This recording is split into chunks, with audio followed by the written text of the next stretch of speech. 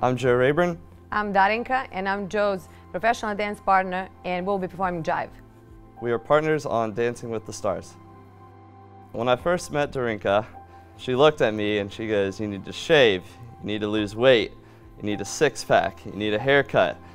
So right off the right out of the gate, she set the bar extremely high for me and I've hoped to live up to those expectations ever since.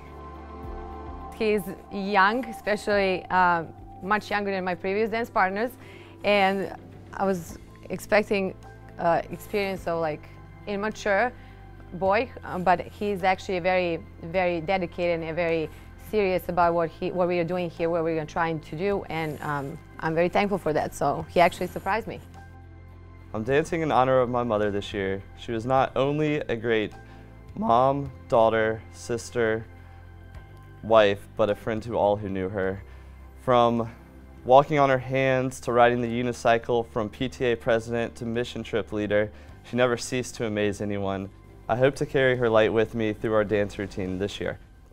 Her support group was incredible and can be seen by the amount of friends that have reached out to my family and I. Unfortunately, not everyone has the same support group that my mother had. And this is why I strongly believe in the mission of Carolina Breast Friends.